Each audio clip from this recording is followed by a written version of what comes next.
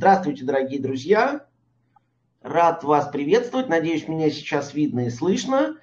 И ко мне через несколько секунд должна подключиться Александра Кабакчи, эксперт компании Добрый день. Александра, здравствуйте. Все, отлично, нас видно и слышно. Э, не откладывая дело в долгий ящик, сегодня говорим о недвижимости Турции. И в первую очередь касаемся недвижимости в курортных районах с Алани и Анталия. Александра, наш постоянный эксперт, еще раз повторюсь, компания Атаберг Эстейт – Ваши вопросы вы можете задавать в нашем чате. Сейчас я вот тут пока вот так вручную импровизированно покажу название чата. Вот он. Вот же как у нас написан. Вот, посмотрите, пожалуйста. Прям чат. Вот. Поставлю эту бумажку. Надеюсь, она будет более-менее видна.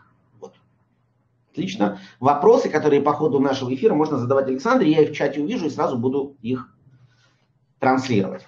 Итак, недвижимость Турции. Турция по-прежнему наше все. Самая популярная страна у покупателей недвижимости из Украины, Казахстана, Белоруссии, России и, думаю, не только из этих стран. Тем не менее, этим летом с турецкого рынка приходили разные новости, и не всегда они были положительные. И, собственно, с этого давайте начнем. В первую очередь давайте обсудим, Александра, закон вот этот вот о Э, ограничивающий выдачу видов на жительство людям, которые приобрели туристических видов на жительство, людям, которые приобрели недвижимость в определенных районах. Несколько слов об этом, пожалуйста. Угу.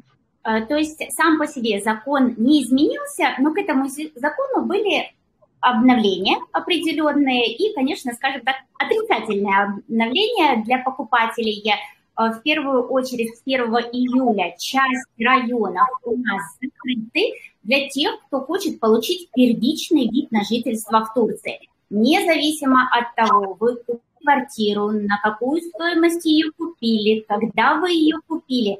Если вы хотите в этих районах на данном этапе получить ВНЖ, то, к сожалению, не получится. Если у вас уже в этих районах закрытых ВНЖ будет получен, то продлить это возможно будет.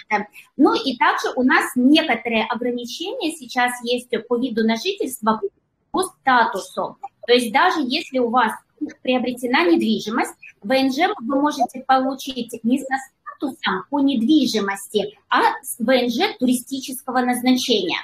А, на самом деле не скажу, что э, как-то сильно это влияет, и из-за того, что сейчас э, э, ориентируются при подаче на это ВНЖ от экспертной оценки недвижимости, и эта экспертная оценка должна быть от 75 тысяч до выше, учитывая на рост цены, сейчас в Алане и в Анталии практически ну, 99% недвижимости будет оценено выше, чем 75 тысяч долларов.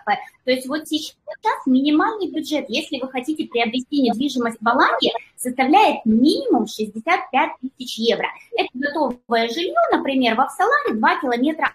Это самое-самое недорогое все остальное уже выше. Поэтому вот сколько у нас случаев было, практически у всех оценка была очень высокая. Как пример, у нас клиент купил э, дуплекс за 140 тысяч евро, а его оценили в 200 тысяч евро. А, поэтому вот по этому моменту, наверное, я бы э, не переживала, а вот э, закрытые районы, они, к сожалению, более актуальны для нас в плане того, что человек купил недвижимость, купил виллу, в закрытом районе и теперь не может получить вид на жительство. Вот это, конечно, давайте, отрицательный момент. Давайте все-таки немножечко тогда вернемся э, еще разочек, разжуем уже основательно. Итак, было два, два закона, которые, вернее, один это закон был, а другой это были внесенные изменения. Так вот, закон говорил о том, да. что есть туристический ВНЖ и есть вид на жительство Э, обладание которым через некоторое время позволит, э, позволяло подавать заявление на гражданство. Да, через пять лет обладатели этого вида на жительство по недвижимости могли подать документы на получение турецкого гражданства. Поэтому люди, которые были нацелены на приобретение недвижимости, на постоянное проживание в Турции, после пяти лет хотели бы получить турецкое гражданство, им этот вопрос, конечно, актуален. Но, как я понимаю, им, принципе, как, как я понимаю, все-таки таких людей ну, было не очень много, ну, потому что, безусловно, есть люди, которые готовы заплатить большие деньги, то есть на данном этапе 400 тысяч плюс и получить турецкое гражданство, а вот история, связанная с покупкой недвижимости и, насколько я понимаю, долговременным нахождением в Турции, это тоже было важное э, условие. Да, там за пять лет вам надо было не более шести месяцев отсутствовать на территории Турции. И гражданство а, при покупке недвижимости за инвестиции, там упрощенная схема, это в течение 6-8 месяцев, из всех экзаменов вы получаете турецкое гражданство, то тут не совсем все просто.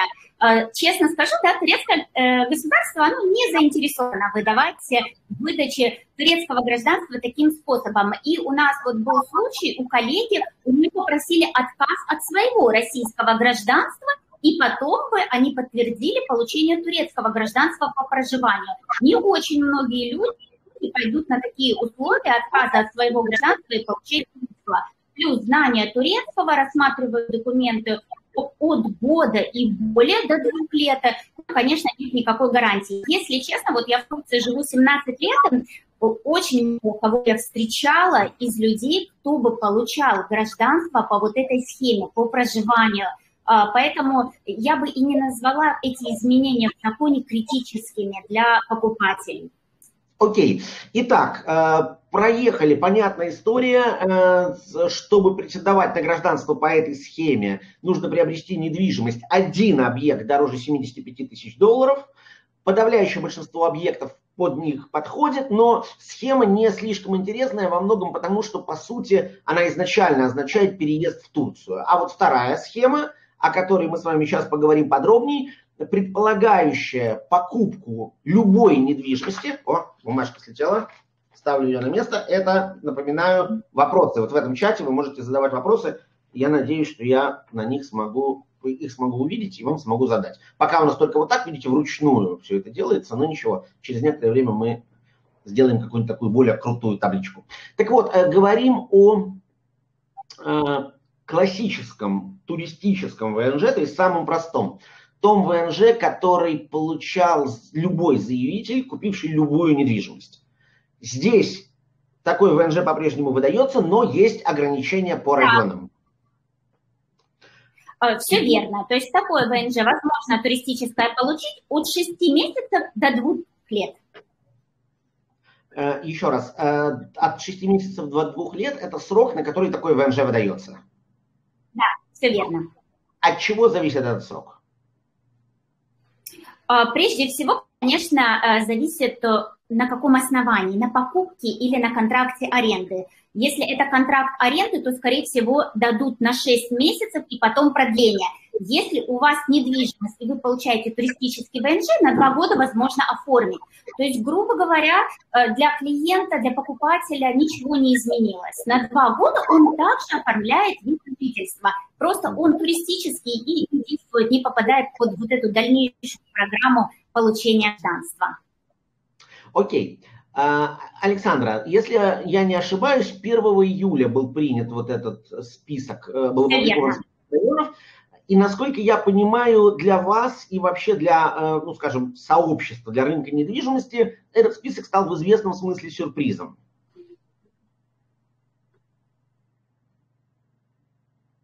Александра, вы меня слышите? Да, да, да, слышно, немного пропадает связь, слышно. А, я хотел спросить, э, что вот этот э, закон, вернее, опубликование этого списка стало некоторым сюрпризом для всего рынка. Э, да, очень большим сюрпризом на самом деле для риэлторов, для покупателей, для строительных компаний и вообще даже для представителей, я вам могу сказать, потому что как только опубликовали, мы пытались как-то, во всяком случае, там торгово-промышленная палата, э, сообщество риэлторов, э, наше общество риэлторов как-то повлиять на решение. Часть застройщиков ездила в Анкару на переговоры и пытались хоть как-то изменить вот это вот решение. Но, к сожалению, ничего не повлияло, не изменило и также осталось. То есть, напомню, у нас сейчас для ВНЖ в Анталии закрыты такие микрорайоны, как Курма, Лиман и Сасу. Это микрорайоны района Каньялты, у нас закрыты Дюсюме Алты, и если мы говорим об Алане, у нас закрыт очень популярный лидер продаж район Махмутлар, также у нас закрыт Кистель, Гаджака и район, в котором очень много строительных объектов, который очень активно развивался в последнее время, Автолар. То есть, к сожалению, вот эти четыре района конкретно в Алании и в Анталии закрыты для первичного ВНЖ. Э, скажите, пожалуйста, давайте чуть-чуть подробнее про Анталию. Начнем с Анталии. Вот эти вот районы, в двух словах, э, как их можно описать, где они находятся, чтобы люди примерно понимали? То есть где теперь нельзя? Да, есть, ну, с какие-нибудь ориентиры? Вы знаете, ну, э, наверное, вот все, если смотрели видео по Анталии, ориентировались на парк Матрешек, который расположен у нас в Лимане. То есть это часть Кони-Алты недалеко от моря. Вот Лиман, он ближайший к морю районы, и, конечно, очень был популярен у русскоговорящих покупателей недвижимости. На самом деле в Лимане и в Турме, в котором мы закрыты, там уже новых объектов практически не было, там уже все давно было застроено. То есть там уже у нас мало предложений было от застройщиков, в основном были варианты на вторичном рынке. Ну и также Сарысу район, он, кстати, был не очень дорогой, это самый западный район Анталии, вот, э, Дюшине Алты, скажем так, э, не было такого прям массового, э, как бы, не, не такой уж прям популярный район, но это самый отдаленный от моря район Анталии, поэтому, конечно, сейчас идет акцент на открытые районы и в плане покупки, и в плане аренды. Также аренда, конечно, возросла именно в этих открытых районах, то есть аренда долгосрочная с возможностью получения вида на жительство. А вот, соответственно, могу сказать, что спрос, конечно, возрос на открытые районы. Вот, и также э, Турция, вот мне всегда нравилась Турция, она очень меняется под э, и адаптируется под меняющиеся условия. То есть, э, соответственно, застройщики обратили внимание на новые районы, и у нас сейчас идет активное развитие тех районов, открытых районов. Наверное, и была цель, одна из целей э, закрытия определенных районов, развитие всех остальных. А поэтому если мы говорим сейчас об Анталии, у нас очень активно и прямо вот, наверное, у всех на слуху этот район Алтентаж. Он находится недалеко от района Лары. Расстояние от моря к этому району составляет от 5-6 километров и чуть более 10-12 километров он находится недалеко от аэропорта Анталии. Вот уже есть э, градостроительный план с развитием и с постройкой всей инфраструктуры в этих, в этих районах. И что примечательно, в этом районе будут не просто вот такие, знаете, домики э, или вот э, э, простые дома, и там вот целое архитектурное решение. То есть то, что в Алане, допустим, или в других э, городах Турции не разрешали по дизайну, по архитектуре такие строения, то есть там у нас, вот, допустим, сейчас комплекс в виде бабочки, баттерфляй, огромный комплекс в виде лайнера, и каждый застройщик пытается воплотить а, какую-то вот, какую-то идею. Все комплексы с большой территорией, там открытый вид, э, с большой инфраструктурой. Ну и по стоимости, чтобы вы сориентировали, примерно мы говорим от 130 тысяч евро за квартиру 1 плюс 1 на этапе строительства и выше. Также у нас, если мы в открыт район Кипес. Это э, от центра города чуть-чуть вверх мы поднимаемся, то есть примерно 15-20 километров от моря. Но этот район всегда привлекал у нас покупателей э, своими недорогими бюджетными ценами, как раз из-за того, что он э, подальше от моря находится. И он отлично подходит для тех, кто хотят постоянно проживать в мегаполисе, детей отдать в какие-то хорошие университеты. Вот этот район можно рассмотреть. Он также у нас сейчас открыт для ВНЖ.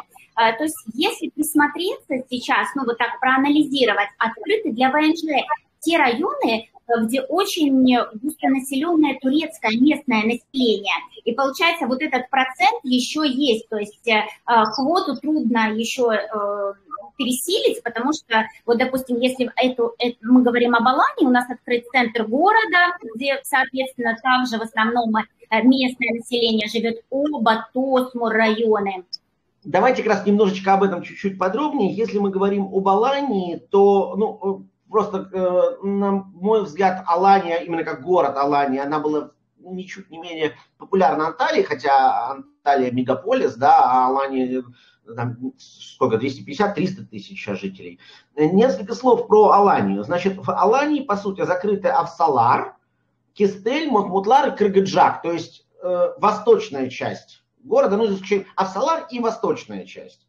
Э, что сейчас представляет собой э, и э, предложение в центре и предложение в районе оба? Давайте с этого начнем. То есть, да, для очень многие, конечно, отпугивает этот фактор неполучения, невозможность получения ВНЖ и непонятно по срокам, когда это будет открыто, поэтому люди рассматривают на самом деле открытые районы. Если мы говорим центр города, он сам по себе был дорогой. В связи с этой ситуацией он еще вырос в цене. То есть сейчас все новостройки у нас практически прайсы за строительных компаний на этапе строительства приходят от 145-160 тысяч евро квартиру 1 плюс 1. Если мы говорим уже о готовом жилье, 1 плюс 1 в хорошем комплексе в центре города, это примерно 200 тысяч и выше. Вот на сегодняшний день вот такие вот э, цены. Э, если а, мы говорим... Да. А, а на вторичном рынке, если э, можно найти что-то подешевле? Вы знаете, к сожалению, собственники видят всю эту ситуацию. Собственники также анализируют новые предложения от застройщиков и они из-за этого также, получается, поднимают цены, потому что вот у нас э, собственник вторичного жилья звонит и говорит, ну да, я вот дешево продам, а что я куплю? Что я куплю, если более новое, то есть я даже на этапе строительства тогда не смогу войти в стройку. Соответственно, собственники жилья, получается, подтягивают по ценам э, э, на строительные компании. Вот, угу. сейчас из всех районов, на которых я бы, наверное, обратила внимание в плане и возможности получения ВНЖ и недорогой бюджетной недвижимости, это Верхняя Оба. И как раз вот она активно развивается, это ближайший район к центру города, наш новый центр города, и если Нижняя Оба, которая ближе к морю, она дорогая и застроена, то Верхняя Оба, это расстояние от моря примерно 2-3 километра, там еще у нас сады, но тем не менее там активно идет строительство, и вот там уже более приемлемые цены. То есть, допустим, вот у нас там несколько строительных объектов, цены на квартиры 1 плюс 1 начинаются примерно от 80 тысяч евро. Угу. Хорошо, давайте... Это уже... Давайте перенесемся тогда немножко на запад. Э, районы Авсалар, в Авсаларе покупать э, с прицелом на вид на жительство сейчас нельзя. Авсалар застраивался довольно активно. Рядом с Авсаларом район Конаклы, которого, как я понимаю, такие ограничения не коснулись. Вот э, с вашей точки зрения, в чем все-таки принципиальная разница между ними? И э, если не брать вот эту э, историю с ВНЖ, в Конаклы же тоже строили, мне кажется, довольно активно в последнее время.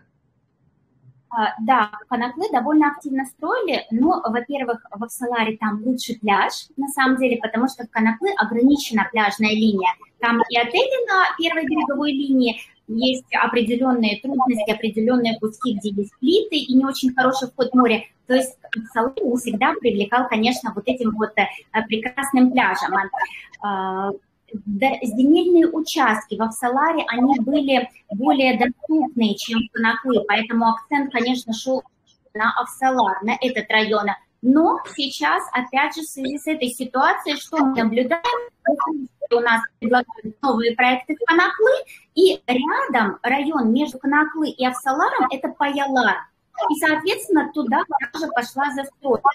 А, к сожалению, в Паяларе еще не очень развита инфраструктура. То есть там выйти, погулять э, по набережной, ну, да, можно, но это просто вот пустая дорога а, развивается. То есть сейчас толчок пойдет на вот как раз развитие э, этих районов, таких как Паяла.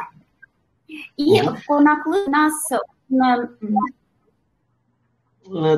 Продолжайте, продолжайте. Угу, про коноклы. А в Конопле еще есть э, определенная часть, когда объездная дорога у нас, которая идет вдоль моря, вдоль всего побережья, она обходит этот участок Коноплы подальше, и вот там ранее была застройка, э, ну, так, довольно недешево, скажем так. То есть все равно Коноплы у нас предлагал прайсы и предлагает выше, чем если бы это Авсалар. Авсалар был бюджетным вариантом и доступным вариантом для многих. Угу. Перед тем, как задать следующий вопрос, безусловно, запись будет. Будет и запись э, в э, мы ее опубликуем в телеграм-канале, опубликуем ее и на сайте, и будет подкаст, то есть в легком формате, без видео, только звук. Так что обязательно мы ценной информации пропасть не дадим. Прошу прощения, если ну, качество звука где-то хромает. Э, хочу еще уточнить у вас, если мы говорим уже о центре и пойдем в сторону Махмутлара. Вот э, район э, Кистель, он под, ну, под условным запретом, а Тасмур нет. При этом, как мне кажется, Тасмур, он же и побольше, и там как раз очень много новостроек э, на холмах. То есть, соответственно, что по ценам там и какие сейчас изменения со стороны застройщиков? А, вы знаете, Тасмур у нас очень живописный район, безумно, потому что он граничит э, с рекой Денчай, э, горная река, а, дорогой район на самом деле сейчас, потому что он сочетает в себе и природную красоту, и, с другой стороны, тихо, спокойный и очень близко к центру города. То есть я сама жила в этом городе 10 лет, безумно его люблю, шикарные пляжи, но, к сожалению, примерно два года там не было разрешения на строительство на различные комплексы. Сейчас это разрешение, там были суды по земельным участкам, сейчас это разрешение убрали, то есть сейчас э, строительство начинает, продолжается, и у нас э, такие топовые застройщики Алании зашли именно в район Тосмура, э, но прайс-листы, если мы говорим опять шаговой доступности 500 метров и до километра к морю, цены высокие. То есть, опять же, цены примерно приближаются к центру города. То есть это 130-140 тысяч евро и даже больше. Хорошо. Сколько тогда в районе Алании, вот если мы возьмем там район, да даже не так, давайте вот возьмем от Анталии до Алании, вот всю вот эту э, территорию, да, там в э, сотню с лишним километров где, в каком районе можно купить сейчас новостройку по минимальной цене, чтобы претендовать на ВНЖ? Что это за район? А, тогда нам, да, нам тогда надо будет с вами переместиться восточнее, то есть мы восточнее Каргыджака перемещаемся в Демиртаж и в Газипашу. А, об этих районах также хотела упомянуть, потому что развитие сейчас и до этого началось, а с этим ВН еще подтолкнуло больше. То есть все застройщики нас начали опять же признавать проекты в Демирташе, и в Газипаше. Если мы говорим о Газипаше, то сейчас квартира 1 плюс 1 от 60 тысяч евро можно там найти. Да, это будет не комплекс, это будет простой дом городского типа, но зато новый дом.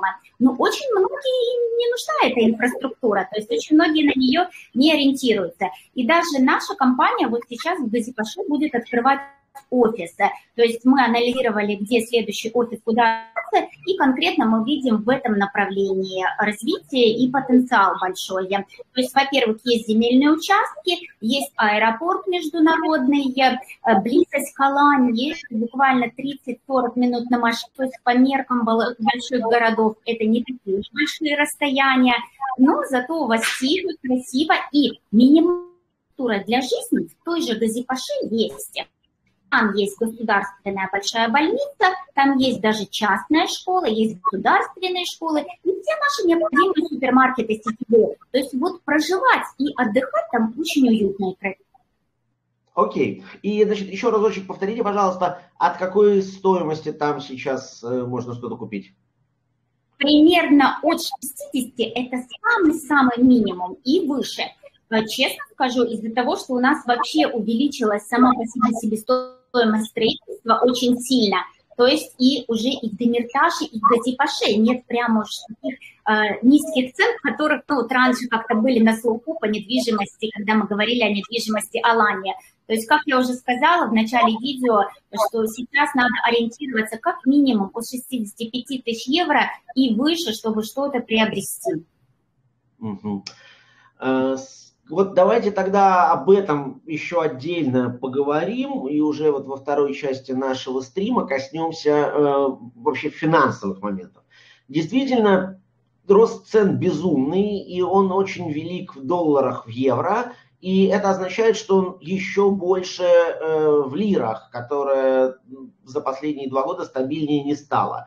Как вообще эта ситуация воспринимается рынком? Покупают ли сами граждане Турции или по большому счету все побережье, ну, с одной стороны, отдано на откуп иностранцам, а с другой стороны, а, они попадают под определенные ограничения. Как вы, ну, вам видится, все-таки вы уже живете в Турции, вы понимаете, и что ну, такая инфляция, это все равно не только в сфере недвижимости, эта штука ненормальная. А, вы знаете, э, наверное, мы ко всему привыкаем, люди привыкают. И вот так же, как рост цен на недвижимость, мы начинаем привыкать и к росту вообще цен на жизнь в Турции. И тем не менее мы общаемся э, с нашими же покупателями, которые говорят, да, у вас подорожало, но тем не менее, допустим, в той же Европе или еще где-то также цены выросли. То есть Турция даже с подорожанием стоимости все равно является конкурентоспособной страной а, в плане вот э, цен и на продукты, и на коммунальные услуги, и на недвижимость. Да, конечно, недвижимость теперь стала не такой доступной для многих покупателей. Ну и тут начали рассматривать другие покупатели, которые раньше не рассматривали ее. То есть поток, который у нас, и вот этот ажиотаж начался в начале года, деле он продолжается, хотя идет на спад. То есть мы каждый месяц контролируем вот эту статистику по продаже недвижимости в Турции конкретно для иностранцев. И вот э, статистики сейчас, за 22 год, у нас рост по сравнению с 21 первое полугодие на 50%. То есть рост очень большой. Но если берем июнь и июль, то в июле 22 года спад практически два раза по продажам есть э, по сравнению с июнем, по сравнению с прошлым месяцем. Из-за чего этот спад? Да? Ну, во-первых, э, я бы не сказала, что это повлияли закрытые районы, не только это. Э, повлиял еще тот фактор, что у нас летние месяцы, они сами довольно спокойные, и спад всегда есть в эти месяцы. Люди на отдыхе, дети в школу не ходят, э, кто ни о каких серьезных вещах, как о покупке недвижимости, задумываться не хочет. Э, ну и, конечно, третий фактор, кроме, кроме летнего спада, э, наверное, это как раз вот цены я бы назвала, потому что мы иногда сами, можно сказать, риэлторы в шоке от того, вот нам приходят э, эти прайс-листы строительных компаний, э, и можно понять застройщиков, то очень сильно выросла себестоимость строительства, и все начинается с себестоимости земельных участков, то есть э, эти собственники земельных участков очень сильно подняли стоимость, поэтому все, наверное, идет от этого. Э, давайте тогда, э, вот если ну, вспомнить, вот примерно год назад, вот минимальные цены, то, что вы говорите, сейчас стоит 60-65, почем это можно было купить год назад, именно в долларах, евро, и, соответственно, вот в центре города, вы сейчас назвали цену 140-150 тысяч, минимальная год назад, что это было? А, вот я бы так сориентировала, что за полтора года цены выросли в два раза. В То долларах есть полтора года то, да, в валюте, в валюте, потому что мы тут на побережье ориентируемся именно в валюте. То, что раньше можно было купить за 50 тысяч евро, один плюс один полтора года э, в Кларе, сейчас как минимум 100 тысяч евро, если не больше. То есть вот а... как минимум, это минимум, это минимум. Ваше ощущение, Возможен ли разворот? Может быть, не э, во всех регионах, но, по крайней мере, в тех регионах, в тех районах, которые сейчас не попадают под э, возможность получения ВНЖ. В том же Махмутларе.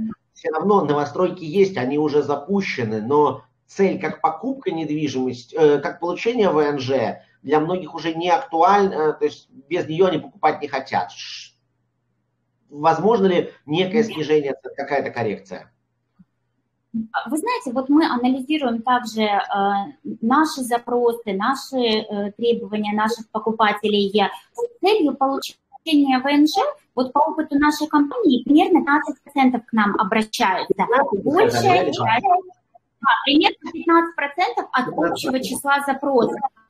Э, это именно те, кто хотел бы переехать на ПМЖ и получить вид на жительство. Да, в последнее время чуть-чуть больше. Вот э, начиная с марта увеличилось это количество ну, больше, больше процент, 80 процентов запросов э, – это инвестиция э, или с дальнейшей перепродажей, или с дальнейшей сдачей в краткосрочную аренду. То есть на это вообще никак не влияет на ВНЖ, сдавать свою недвижимость туристам в сезон. Вот у нас сейчас все квартиры заполнены в том же Махмутларе, в том же Австаларе, возможно.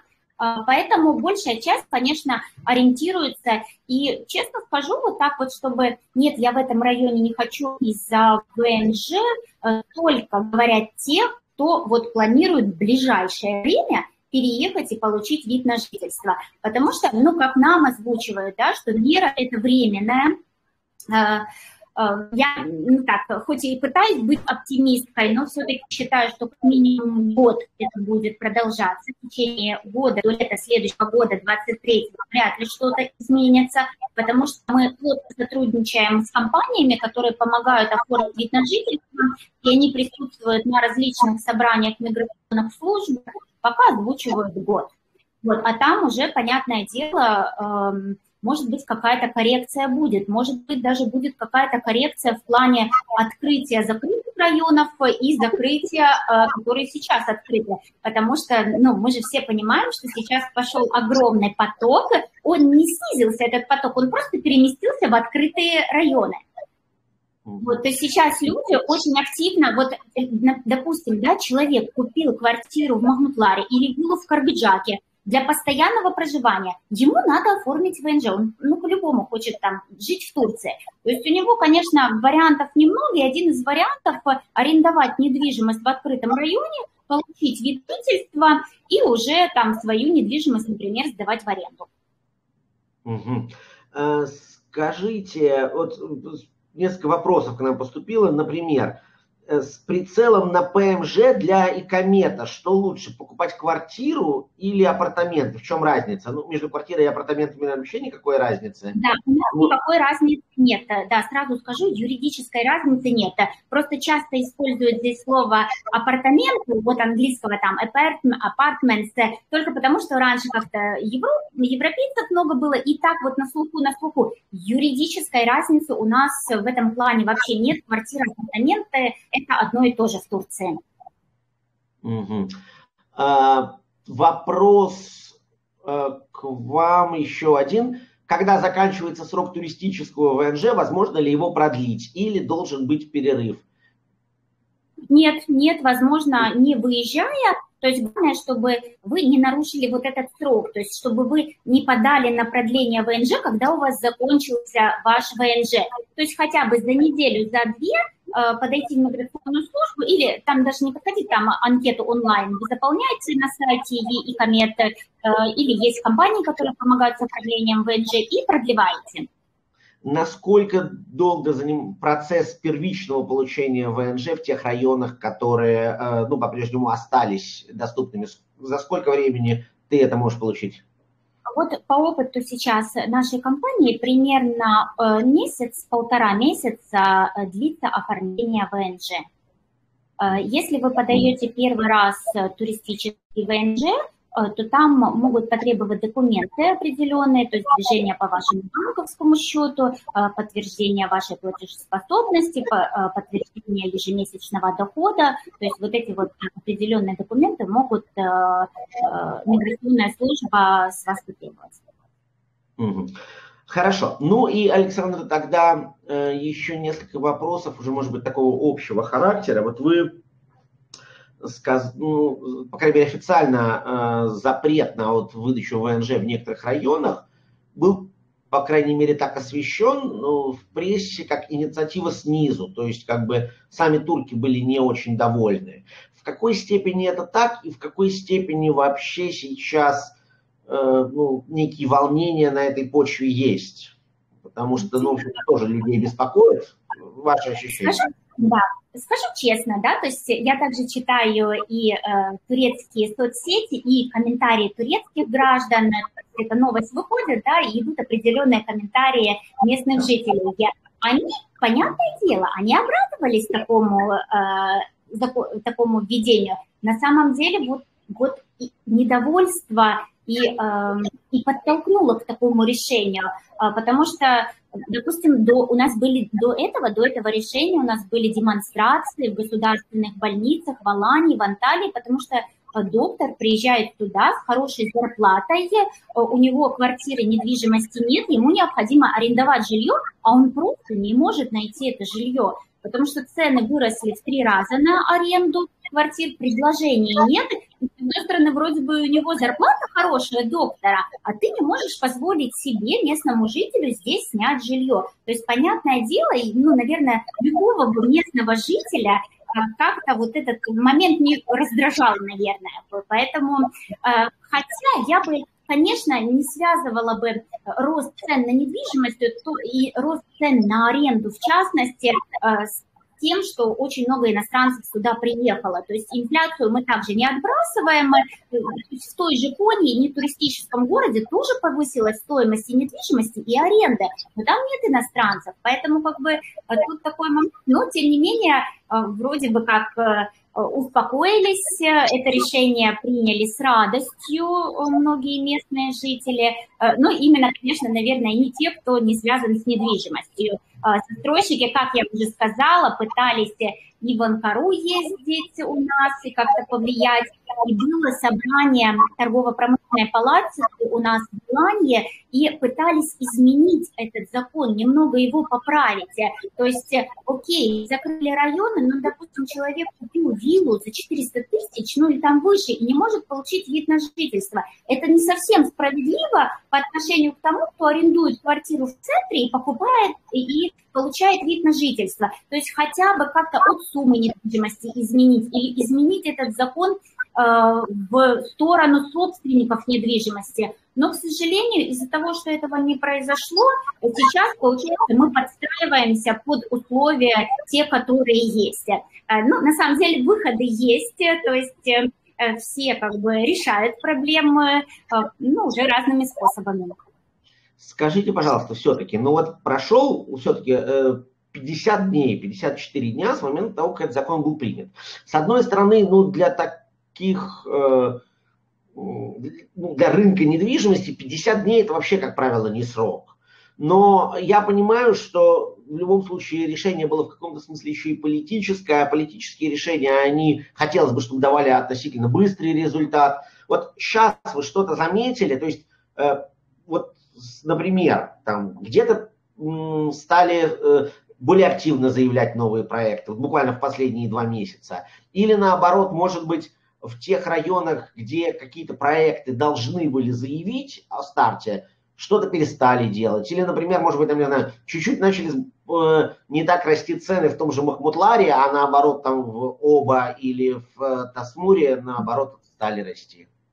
А, знаете, Телин, наверное, тут вы правильно сказали, что довольно непродолжительный период времени прошел, чтобы сделать какой-то полный анализ по этим событиям.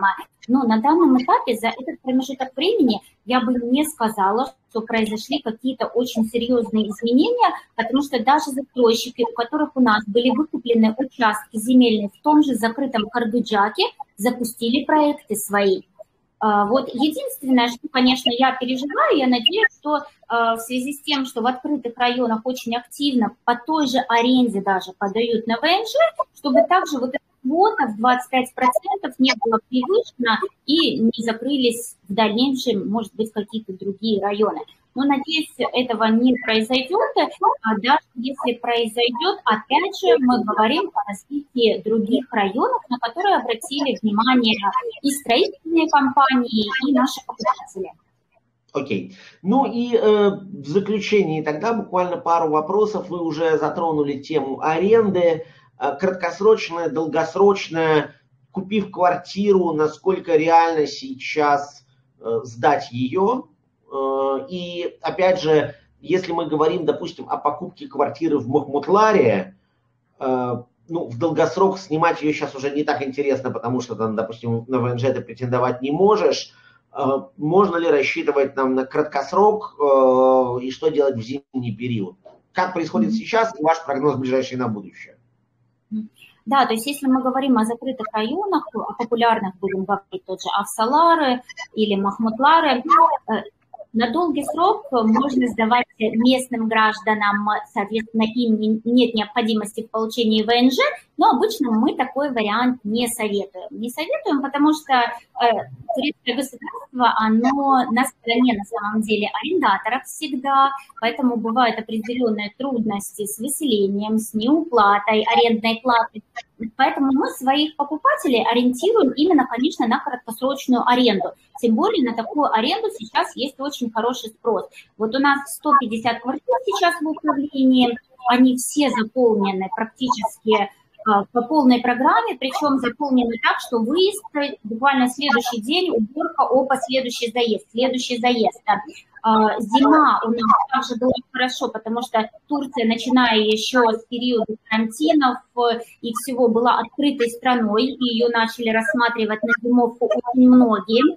А, Турция держит определенный нейтралитет в политическом плане, и это также многих привлекает. Это также фактор того, что сейчас в Турции очень большой поток вообще граждан всех стран. То есть я говорю тут конкретно сейчас не об Украине а, и России, а также и граждане Казахстана, и граждане Европы, Поэтому, ну и, кстати, о гражданах России могла бы сказать, что мы вот статистику также анализируем. А, раньше у нас среди иностранцев лидировали Иран и Ирак.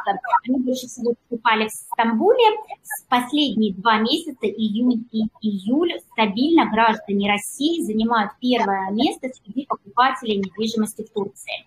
И как раз речь идет об Анталии и об Алании. Окей. Ну и э, тогда в заключении э, давайте, пожалуй, может быть, самый животрепещущий вопрос, который я уже один раз задавал, и мы первую часть нашего стрима как раз ему посвятили. Итак, если цель все-таки вид на жительство э, и интерес район Анталии, Алании, какие места вы бы порекомендовали по соотношению цена-качество. То есть, понятно, есть центр, но это все-таки дороговато. Но если ты хочешь вписаться в 100 тысяч евро, мне кажется, это ну, для многих будет сейчас интересно. Да. Пожалуйста. Если вы хотите в эту сумму вписаться, если мы говорим об Анталии, то, к сожалению, в районе Каньялты, в популярном районе, наверное, вы уже по бюджету не пройдете. Надо будет рассматривать Алтенташ. Если мы говорим с вами об Улане, а, в открытых районах э, мы можем рассмотреть, э, пожалуй, Тусмур и обувь, верхнюю обувь в этом бюджете. Вот, все остальное уже как бы ну, недоступно. Окей. Ну и еще давайте все-таки последний вопрос. Мы его как-то не затронули, но я думаю, у нас еще будет время. Э, мы поговорим. Платежи из России, как последние месяца два идут. Мы с вами разговаривали в а, июне вроде ну, более-менее, то есть были трудности, но, в общем, проходили. Как сейчас, сложнее, легче стало? А, вы знаете, конечно, определенные трудности, к сожалению, есть э, с платежами конкретно по России и по Украине, но, тем не менее, э, возможно. Э, то есть, возможно, вот одна схема – это со своего рублевого счета в России вы приезжаете и открываете в Турции рублевый счет, Туда идет перечисление, потом турецкий банк конвертирует на валюту, э, и определенный процент за снятие есть. Это вот э, как вариант. Также у нас, э, ну, некоторые привозят, когда есть возможность наличкой определенные, определенные схемы есть через криптовалюту. У нас работают денежные переводы «Золотая корона», как такая вспомогательная площадочка пока нормально. Ну и, в принципе, наличка классический перевод из банка несанкционного, понятно, из российского, проходит, проходит последнее время проходит, По свифту проходит. Ну, то есть, как бы, э, просто под договору, э, Да, да, официально по контракту они могут запросить дополнительные документы. У нас были случаи, то есть когда дополнительные документы э, компании строительной могут э, что-то банк уточнять, и увеличился срок э, э платежей, срок вот, вот э, от, там, допустим, от точки А до точки, до пункта Б. То есть раньше, если это было 3-5 дней, то сейчас оплаты могут по месяцу идти. Вот, поэтому мы сразу говорим и предупреждаем покупателей, особенно у кого квартиры в рассрочку, чтобы они имели это в виду. Сейчас строительные компании, которые продали еще до повышения цен, они, конечно, очень следят, чтобы не было никаких просрочек. В случае любой вот просрочки они сразу хотят аннулировать сделку, потому что они понимают, что эта недвижимость сейчас практически в два раза дороже. Угу, понятно. Ну, это тоже, кстати, такое очень важное замечание под конец, то есть э, внимательно, осторожно, предельно. Да, да, представительные компании – это как лишний повод э, для аннулирования сделки.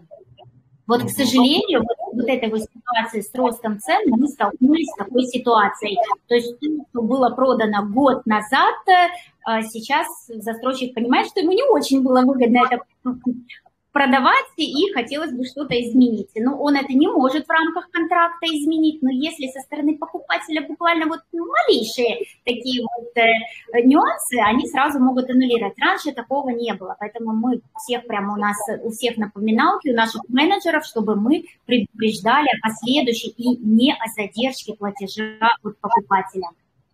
Угу. Слушайте, вот, пожалуй, предельно, предельно ценная информация. Ну что ж, дорогие друзья, Александр Ковакчи, эксперт компании Атаберг Estate. Э, мы обязательно опубликуем и стрим э, наш, э, в нашем телеграм-канале. Но если вдруг кто-то успел, вот вопросы могли задавать, но три вопроса было, так что, пожалуй, пока так. Александр, спасибо вам огромное. А я хочу сказать еще, что в ближайший понедельник, следующий наш стрим – телеграм-канале Приагру. Будем говорить с нашим экспертом о Болгарии. Ориентировочное время начала в 13.00, но тоже следите за информацией. Александра, вам спасибо огромное. Спасибо. Всем теплого солнца и безопасности. В наше время это очень и очень ценно. Встретимся с вами, надеюсь, в Турции. Да, спасибо. Если у наших зрителей дополнительные вопросы уже после эфира, то есть также я могу потом вместе с вами прокомментировать их. Без проблем, конечно, дорогие друзья. Александр Камакчи и компания Таберг Estate. А, мы сегодня опубликовали, кстати, статью, э, посвященную как раз недвижимости Турции с Александрой. И э, напрям контакты Александры можно найти. Ну и, собственно, в Телеграме тоже они Спасибо. есть, поэтому пожалуйста, обращайтесь. Спасибо большое, до встречи в понедельник спасибо, на стриме и 24 на 7 в телеграм-канале Прианру. Спасибо, до свидания.